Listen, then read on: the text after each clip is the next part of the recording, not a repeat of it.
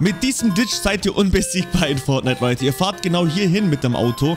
Bei Shift Chefs baut auch ein bisschen ab und dann passiert genau das hier mit eurem Fahrzeug. So, ihr könnt auch noch das hier ein bisschen abbauen. Zur Sicherheit müsst ihr aber nicht. Dann steigt ihr nochmal ins Fahrzeug ein, fahrt jetzt rückwärts und dann seht ihr, ihr seid durchgeglitscht. Und jetzt müsst ihr einfach nur das Auto kaputt machen. Benutzt gerne meinen Creator Code Seville.